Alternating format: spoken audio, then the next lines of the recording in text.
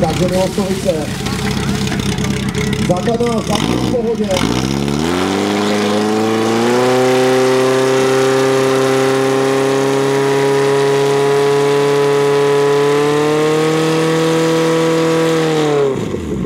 Tam je bohužel prostřed na levém terčí. Bohužel nalevo to nebylo.